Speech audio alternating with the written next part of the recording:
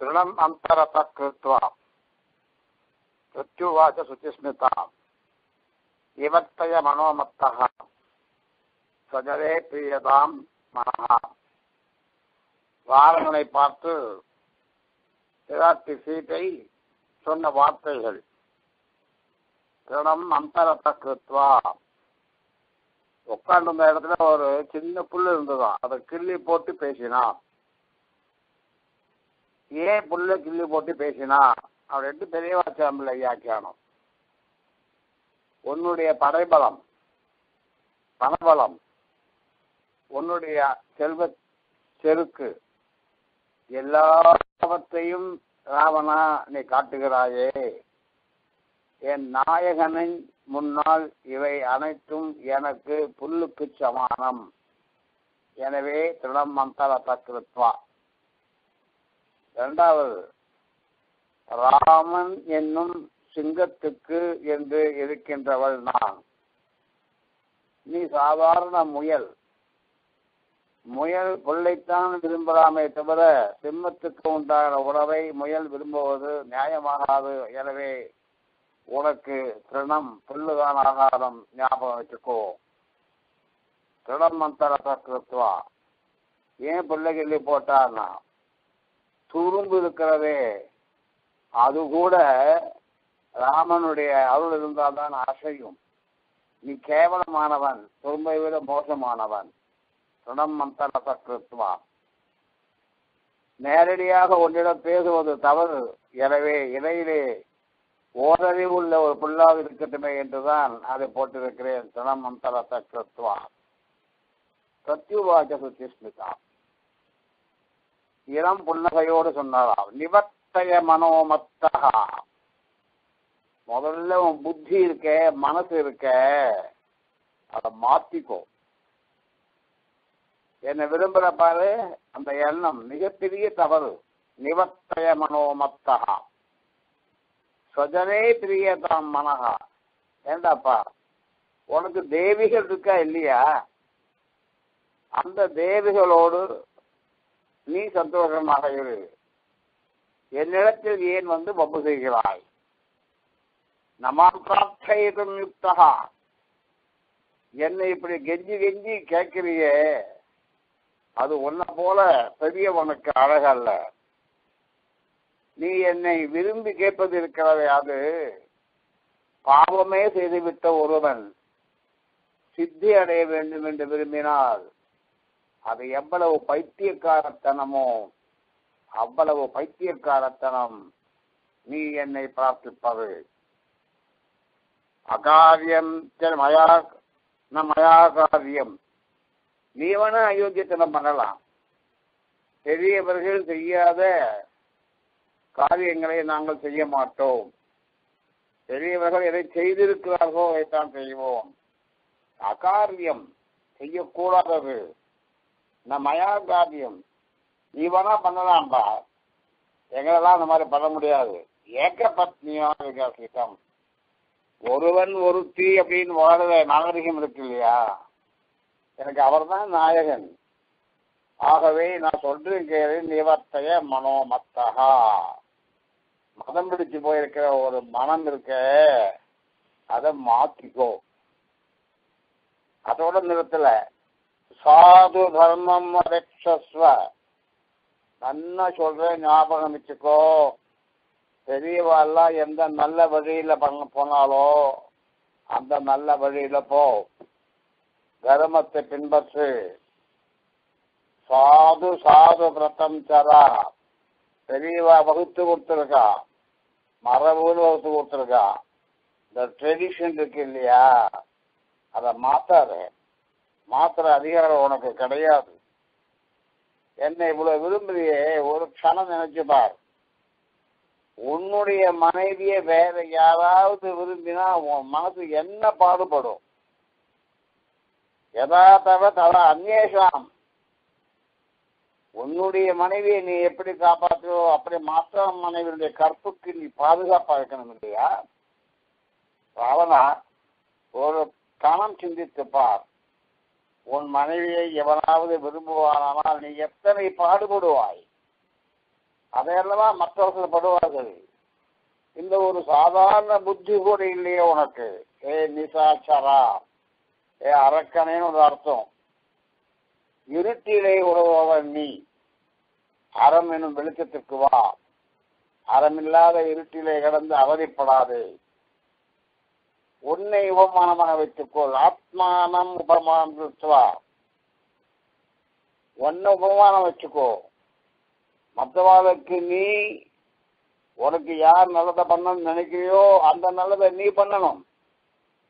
மற்றவா உனக்கு தொல்லை கொடுக்க கூடாதுன்னு நீ நினைக்கியானா நீ தொல்லை கொடுக்க கூடாது. அதனால முதல்ல ஒன்னு உபமானமா வச்சுண்டு. நினைச்சு பார் ஆத்மானம் உபமானம் சேது தாரேது ரம்யதாம். உனக்கு நிறைய மனைவிகள் இருக்கா? அவரோட கூட சந்தோஷமா இரு. ராவணா உனக்கு சொல்லட்டுமா? கேக்குறியா? அசிஷ்டம் சேது தாரேஷு தன்னுடைய மனைவியிடத்திலே மகிழ்ச்சி அடையாத ஒருவன் அசைகின்ற உள்ளத்தை உடையவன் சபலம் கேவலம் சபலத்தினாலே தவறு செய்கிறான். சகலேந்திரியம் புலன்களால் ஈர்க்கப்பட்டு அவன் தவறு செய்கிறான். ஆகவே நினைவுகோள் நீ மாற்றா மனைவியை விரும்புவது தவறு. அது மட்டுமல்ல மாற்றா மனைவி நீ விரும்பினியானா? நயந்தி விகிருதி பிரஜம் உனக்கு இருக்கிற அறிவு இருக்கு பாரு. அந்த அறிவு இல்லாம போயிடும். புத்தி கெட்டு போயிடும். ஞாபகம் வச்சுக்கோ. பரவாதாக பராபவம். இன்னொருத்தருடைய மனைவி விரும்புவதற்கு வாழ்க்கையில ரொம்ப தொல்லையை கொடுக்கும்பா. இது உனக்கு நான் சொல்ல வேண்டியிருக்கு. வேதம் படிச்சவன் நீ சிவபக்தன் நீ நல்ல இசைவாளன் நீ இவ்வளவு இருந்து சாதாரண ஒரு சின்ன சமாச்சாரம் மாற்றா மனைவி விரும்புதல் கூடாது என்ற தர்மம் தெரியாம இருக்கியே. இந்த தர்மத்தை நான் சொல்ல வேண்டியிருக்கு உனக்கு? சே என்று பரிதாபப்பட்டு தர்மத்தை உணர்ந்து பார். அம்மா ராவணா எனக்கு ஒரு சந்தேகம். இது சந்தோ நவாசந்தி. இங்கே படிச்ச நல்லவ யாரும் இல்லையா? இந்த லங்கையில நன்னா படிச்சவா யாரும் இல்லையோ? ஒருவேளை இது நன்னா படிச்சவன் இருந்து அவ சொல்றத நான் கேட்கறது இல்ல. அப்படின்னு முடிவு பண்ணிட்டியோ? அப்படி ஏதாவது முடிவு பண்ணியிருந்தா இகசந்தோ நவா சந்தி தத்தோவான அனுவர்த்ததே எதாகி விபரீதா தே புத்தி நீ படிக்கணும். எந்த நாட்டில் எவ்வளவு படிச்சவன் இருப்பான் இல்லையா? நன்கு கற்றவர்கள் சொல்லுகின்ற நல்லற வார்த்தைகளை கேட்க வேண்டும். நீயாகவும் உணராமல் மற்றவர்கள் சொல்லியும் கேட்காமல் விபரீதமான புத்தியை உடையவனாக இருந்தால் நீ ராவணா நிச்சயமாக அறிந்துபடுவாய். நீ ஜீவிக்கணும். வாய் ஒவ்வொரு கேட்கிறனே காரணம் தெரியுமா? எனக்காக இல்லை. என்ன நீ ஒன்றும் பண்ண முடியாது நிச்சயம் தெரியும் எனக்கு. இவ்வளவு அறிவுரைகள் உனக்கு சொல்லுங்க காரணம் தெரியுமா? நீ அழியக்கூடாது என்று நான் எண்ணுகிறேன். அழிவை தேடி நீ வருகிறாய். நீ அழியக்கூடாது என்று நான் விரும்புகிறேன். சாது ராவணா ராமேன மாம் சமாமய துக்கிதாம். ராமனை பிரிஞ்சு கஷ்டப்பட்டுட்டு இருக்கேன் இல்லையா? என்ன நல்லபடியா கொண்டு போய் ராமன் கிட்ட ஒப்படைச்சிடும். ஒப்படைக்க போறது நிச்சயம். ஆனா நல்லபடியா ஒப்படைச்சிடும் உனக்கு ஆபத்து இல்லாம உன் பந்துக்களுக்கு ஆபத்து இல்லாம நல்லபடியா ராமரத்துல கொண்டு போய் என்னை ஒப்படைச்சிடும். காட்டுல பெண் யானையை பிடிச்சிட்டு வந்துட்ட பிற்பாடு அந்த பெண் யானையை கொண்டு போய் ஆண் யானையோட உடனே புத்திசாலித்தனம். எனவே நீ என்னை ராமனிடம் கொண்டு போய் ஒப்படைத்து விடு. அதுதான் நீ உய்வதற்கு உண்டான ஒரே வழி. இப்படியெல்லாம் சொல்றனே காரணம் தெரியுமா? என்னுடைய ராமன் யார் தெரியுமா உனக்கு? விதித்தகா. அருமையான சோகம் இது. விதித்தகா. எப்படி வாழ வேண்டும் என்று வகுத்து கொண்டு வாழ்பவன். மனம் போனபடியெல்லாம் வாழவன் இல்லை. மற்ற ஜீவன்கள் வாழ்கின்றன. மனிதன் வாழ்வை நடத்துகிறான். மனிதர்களில் உத்தமன் வாழ்வை மற்றவர்களுக்கு வழிகாட்டியாக்குகிறான். விதித்தகா இப்படித்தான் வாழணும். அம்மா கிட்ட இவ்வளவு பக்தி இருக்கணும். அப்பா கிட்ட இவ்வளவு பக்தி இருக்கணும். மனைவி கிட்ட இவ்வளவு அன்பு இருக்கணும். தர்மத்திலே இவ்வளவு பற்று இருக்கணும். சத்தியத்தை காப்பாற்றணும். இப்படி வகுத்து கொண்டு வாழ்பவன். ஒன்ன மாதிரி அலையிற புத்தி கிடையாது. விதிதகா அது மாத்திரம் இல்லை சகி தர்மஜா ராமன் யார் தெரியுமா? அறமே உருவானவன். தர்மம் வேற ராமன் வேற இல்ல. ஆகையினாலே ராமனை நன்னா தெரிஞ்சுக்கோ. சரணாகத வத்சலகா. அவனுக்கு இன்னொரு பேர் உண்டு. யாராவது அவனை சரணாகதி பண்ணி விடுவார்களே ஆனால் அவரிடத்திலே வாத்சல்யம் காட்டுகின்ற குணம் ராமனுக்கு உண்டு. என்னை நீ அபகரித்து வந்திருக்கிறாயே நீ கொடிய செயல். இந்த கொடிய செயலை செய்திருக்கின்ற நீ போய் ராமன் விழுந்து விடுவாயானால் உன்னை மன்னிப்பதற்கும் தயாராக இருக்கின்ற உத்தம குணமுடையவன் ராமன். இந்த சீதையை போல அறம் சொன்னவன் யாரும் கிடையாது. நான் அதை எழுதியிருக்கேன். மூன்று பெண்கள் மறக்க முடியாத பெண்கள். அறம் உரைத்த அருங்குடி மகளிர் ஒரு சின்ன புத்தகம் போட்டிருக்கேன். அதை எழுதியிருக்கேன். சகுந்தலைய போல ஒரு தைரியமான பெண்ணை பார்க்க முடியாது. துஷ்யந்தன் சபையில துஷ்யந்தனை வச்சு வாங்கு வாங்க வாங்கலாம் அதே அப்பா என்ன கேள்விகள்? அறிவார்ந்த கேள்விகள். அதே மாதிரி ராமாயணத்துல சீதை ராவணனை வச்சு அவன் நாட்டுல அவன் எல்லையில அவருடைய பாதுகாப்புல கொஞ்சம் கூட பயம் இல்லாம என்ன அர்த்தம்? தருமத்தை பற்றி பேசும் பொழுது யாருக்காகவும் பயப்பட வேண்டிய அவசியம் இல்லை. ரொம்ப ஆணித்தனமா பேசணும். எதிர்வ மனசுல பதிகிற மாதிரி பேசணும். அதனால விதிதா சகி தர்மஜா சரணாகத வத்சலகா. நீ என்ன பண்ணணும் தெரியுமா? உனக்கு ஜீவதசையோடு இருக்க வேண்டும் என்று எண்ணம் இருந்தால் உயிரோடு இருக்க வேண்டும் என்று நீ விரும்பினால் தேன மைத்திரி பவத்துத்தே அவனோடு நட்பு செய்து கொள். நீ காலில் விழுகணும்னு சொல்லல. நான் உனது நண்பன் அப்படின்னு ஒரு வார்த்தை சொல்லிடு.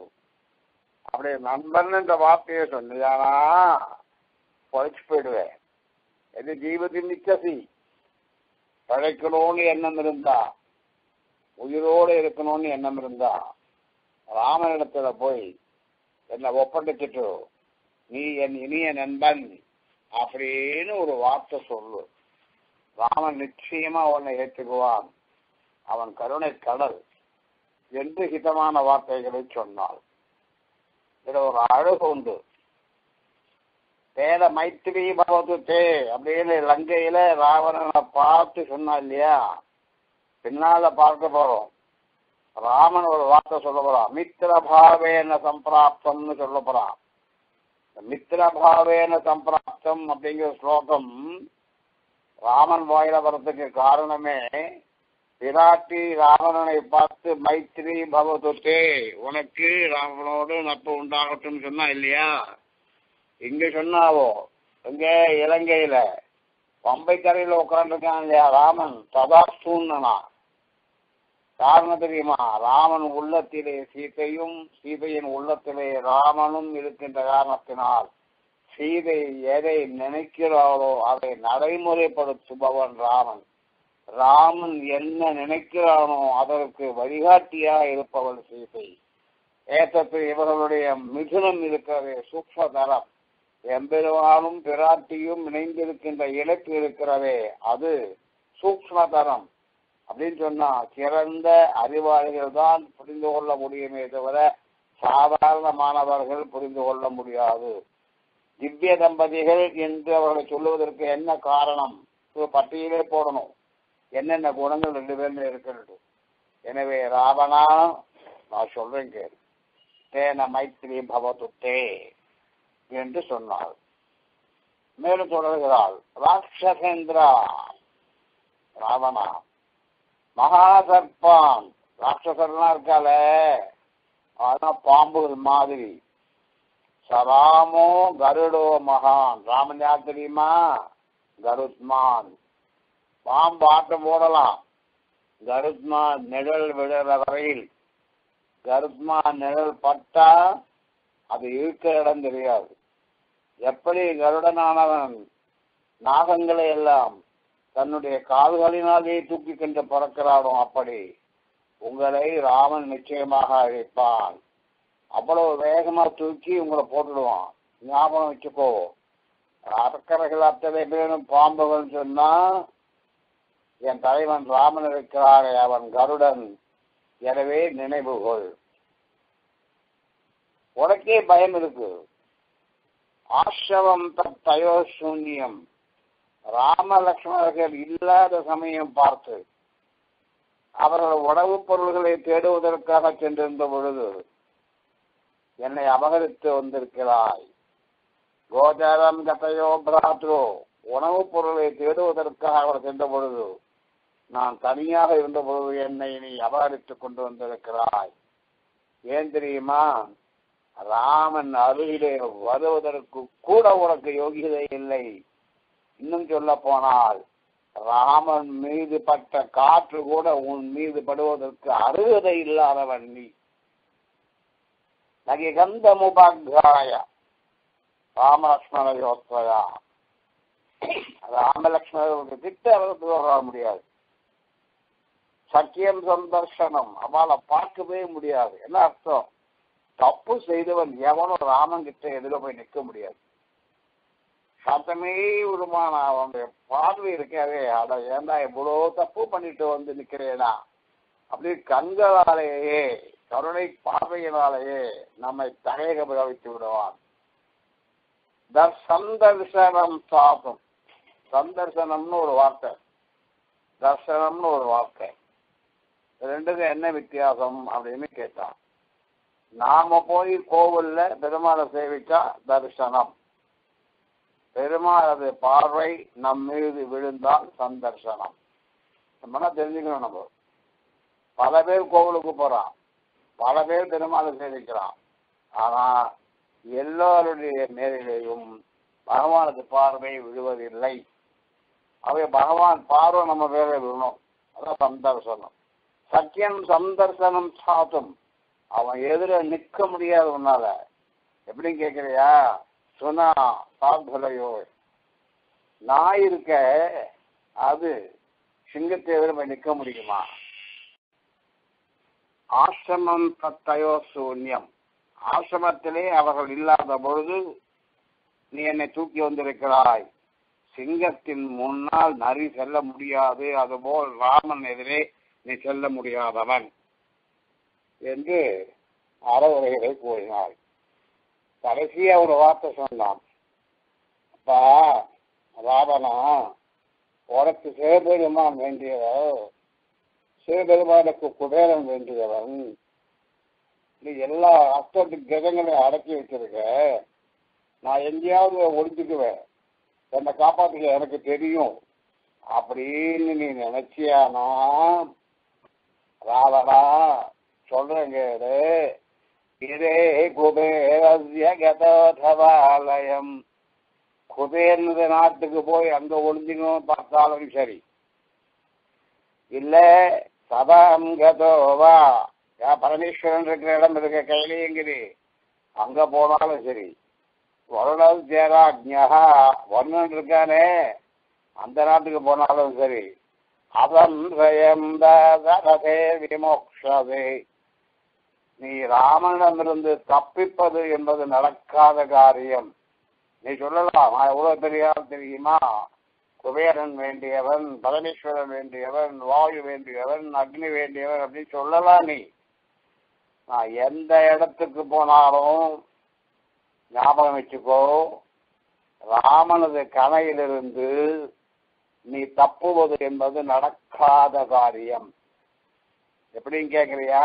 மதமான காற்று அடிக்கும் பொழுது மிகப்பெரிய மரங்கள் எல்லாம் சாய்ந்து விடுகின்றன. எனவே ராமனது சினம் என்னும் காற்று வீசுமானால் அந்த காற்றிலே அடிபட்ட நீ அடியோடு மரம் சாய்வது போல் சாயப் போகிறாய். எங்கு போனாலும் உன்னால் தப்பிக்க முடியாது. நீ ஜீவிக்க வேண்டும் என்று நான் விரும்புகிறேன். எனவே நான் அறவுரை கூறுகிறேன். நிவர்த்தய மனோமத்தகா மனதை மாற்றிக்கொள் என்று அறவுரை கூறினாள் அவனுக்கு கோபம் வந்துருச்சு. பருஷானி வாக்கியானி யானி யானி பிரவீசிமாம். ஹே சீதே கொடிய வார்த்தைகள் கடுமையான வார்த்தைகள். எந்த கடுமையான வார்த்தைகளை எல்லாம் நீ பேசியிருக்கிறாயோ அந்த வார்த்தைகளை மற்றவர்கள் பேசியிருப்பார்களே ஆனால் அந்த வார்த்தைகளுக்கு தண்டனை மரண தண்டனை. நீ இவ்வளவு பேசியிருக்க. ஒன்னும் காது கொடுத்து கேட்க முடியல. பருஷானி வாக்கியானி. மிக கொடூரமான சொற்கள். இந்த சொற்களை எல்லாம் வேற யாராவது பேசியிருந்தால்னா இத்தனை நாள் யமலோகத்துக்கு போயிருப்பான் பேசு பேசு வசோயுக்தா நீ பேசின பேச்சுக்கெல்லாம் தண்டனை என்ன தெரியுமா? உன்னை கொன்றதுதான் ஆனா உன் பேர்ல இருக்கிற பற்றுனால உன்னை நான் கொல்ல விரும்பலை. உனக்கு அவகாசம் கொடுக்கிறேன். மாதோ ரட்சிதவியோ நீ பக்கத்துல இருந்த அரக்கிகள் எல்லாம் பார்த்து சொன்னான் இருக்காளே இவளுக்கு ரெண்டு மாதம் அவகாசம் கொடுத்துருக்கேன். தோ மாசம் ஜாக்கிரதையா பார்த்துக்குங்க அவளை. யோ அவதிஹீதம் யதாக்கிருத்தா மயாக்கிருத்தா உனக்கு ரெண்டு மாதம் அவகாசம் கொடுத்துருக்கேன். அதுக்கு பார்த்துக்கணும் ஞாபகமா பார்த்துக்கோ ரெண்டு மாத காலம் அவகாசம் கொடுத்துருக்கேன்.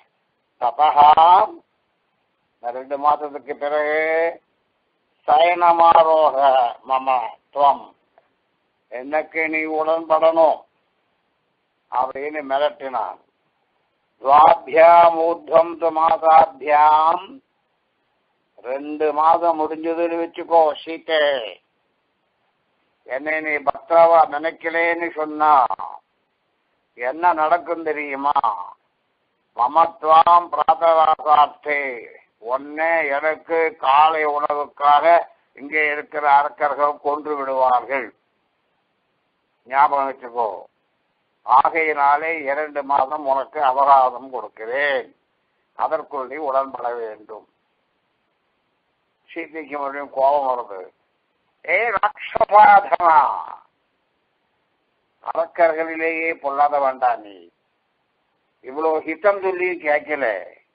எனக்கு நீ அவகாசம் கொடுக்கறியா ராமசிய பாரியாம் யார் தெரியுமா? ராமனுடைய தேவி. ராமன் யார் தெரியுமா? அமித தேஜசகா அளவுக்கு அதிகமாக புகழை உடையவன் ராமன். நீ சாதாரணம் நினைச்சிட்டியா நீ அவனை. இந்த ராமன் தேவி நான் உக்தவானசியத் பாபம். என்ன பார்த்து பாபமான வார்த்தைகளை நீ சொல்லியிருக்க? ஸ்வகதஸ்தஸ்ய மோக்ஷசி. எங்கடா போய் நீ பிழைக்க போற? ராகவன் தேவியாகிய என்னிடத்திலேயே பாப வார்த்தைகளை பேசி இருக்கின்ற நீ எங்க போய் உன்னை காப்பாத்திக்க போற? எங்க போனாலும் உன்னை உன்னால காப்பாத்திக்க முடியாது. எனக்கு வர கோபத்துக்கு இமயே தே நயனே குரூரே விக்கிருதே கிருஷ்ண பிங்கரே. என்ன இந்த பார்வை பார்க்கிறேன். இந்த ரெண்டு கண்ணு இருக்கு இல்லையா? அந்த ரெண்டு கண்ணு அப்படியே அழிஞ்சு போகட்டும். சித்தவ் பதித்தம் கஸ்மாத்து. ரெண்டு கண்ணும் தலையில விழுந்திருக்கும். நான் நினைச்சிருந்தேன் என்ன ஆனா நான் நினைக்கல. காரணம் தெரியுமா? ராமனுக்கு இழுக்கு வரப்போகிறது என்பதற்காக நினைக்கிறார்கள். என் கம்மன் ஒரு அழகான பாட்டு எழுதினான். அல்லல் மாக்கள் இலங்கையதாகுமோ பைத்தியக்காரா? நான் இலங்கை எவ்வளவு பெருசு நினைச்சிட்டு இருக்கியா? இலங்கையில் இருக்க அரக்கரன் ஒரு ஆற்ற நினைச்சிருக்கா அல்லல் மாக்கள் இலங்கையதாகுமோ என் சொல்லினால் சுடுவன். ஒரே ஒரு வார்த்தை போதும். இலங்கை அழிந்துபடட்டும் தீது போச்சு. லங்கை சாம்பலா போயிடும். சொல்லினால் சுடுவன். ராமனுக்காவது வில்லு வேணும் அம்பு வேணும் எனக்கு அதெல்லாம் தேவையே இல்லை. சொல்லினால் சுடுவன். ஏன் சொல்ற தெரியுமா?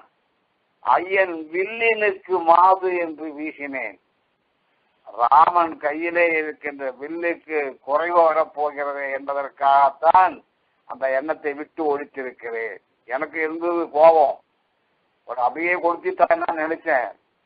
சே என்ன எழுதுவோம் கதை எழுதுச்சே ராமன் நரகத்துக்கு கொண்டு போனால் சீதை இலங்கையை எதிர்த்து மீண்டு வந்தாள் என்று சொன்னால் ராமன் கையிலே வில் எதற்கு என்ற கேள்வி எழும்.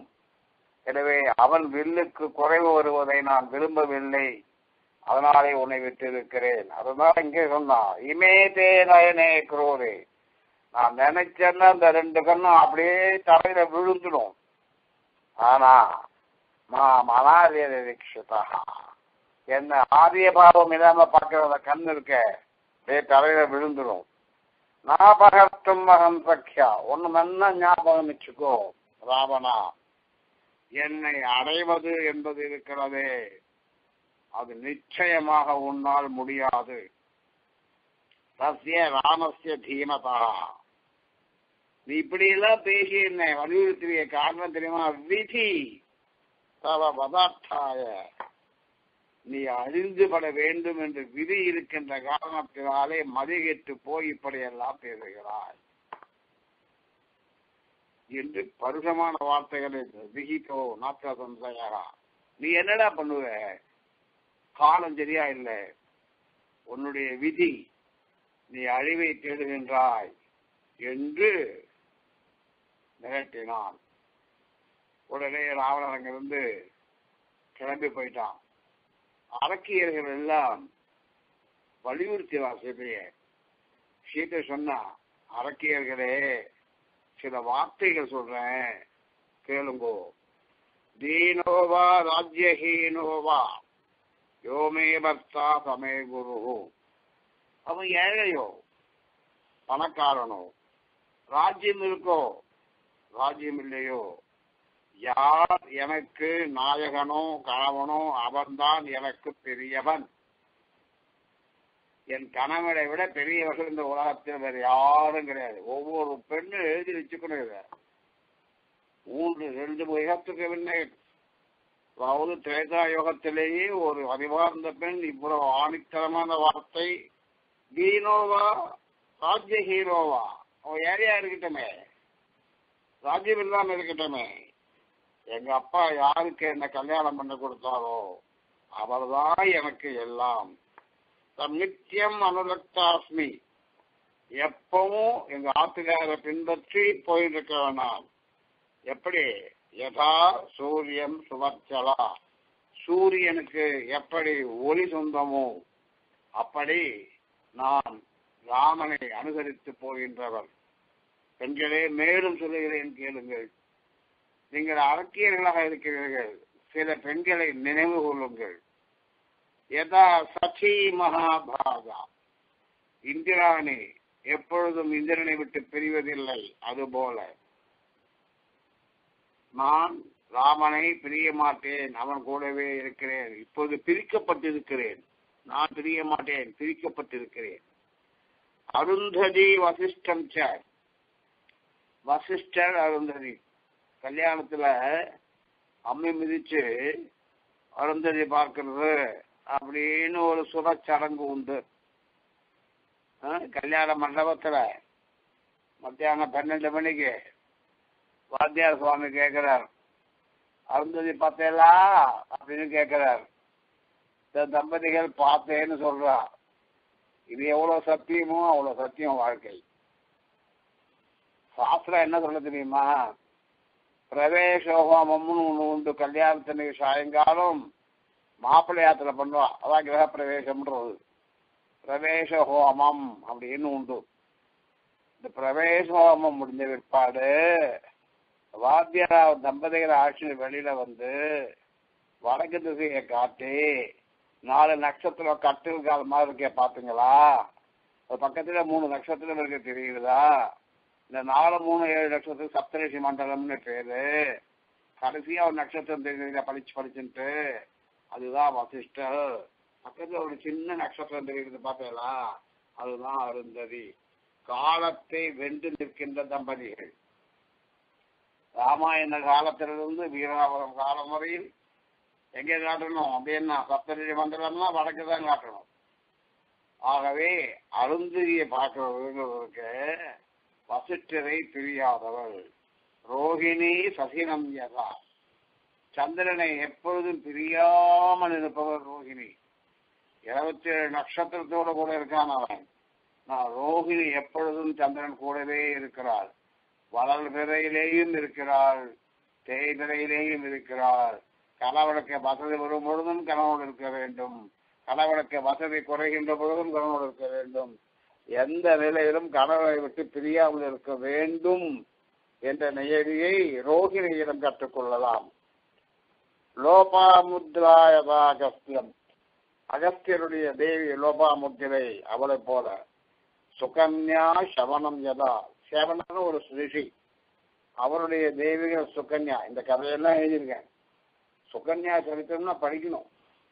தேவி பாகவதத்துல வர்றது இந்த சுக்கன்யானுடைய சரித்திரம் எடுத்தா கணவனுக்கு எப்படி அனுசரணையா நடந்திருக்கான்னு தெரியும். அதே மாதிரி சௌதாதம் மதயன் தீச்சா கேசினி சகரம் எதா சகரனை கேசினி பிறந்தது போல நைஷதம் தமயந்தி நிகழ நாட்டு அரசனாக இருந்த நலனை தமயந்தி பிறந்தார் போல. பதின் அனுபிரதா. பதிவிரதன்னா அர்த்தம்? கணவனை பின்பற்றி செல்பவள் அதனால ராட்சத பெண்களே ஞாபகம் வச்சுக்குவோம் பெண்களுக்கு கணவன் தான் எல்லாம். ததாக இக்ஷாகுவரம் ராமம். இக்ஷா வம்சத்தில் வந்த சிறந்தவனாக சக்கரவர்த்தி திருமகன் ராமன் இருக்கானே. அவரை கணவனாக ஏற்றுக்கொண்டு அவன் உடனே அவனோடு மகிழ்ந்து அவனுக்காகவே வாழ்பவனாக இருக்கிறேன். இதை நீங்கள் புரிந்து கொள்ள வேண்டும். அப்படின்ட்டு அரக்கியர்களை பார்த்து சொன்னால் மேலும் நாளை பார்க்கலாம்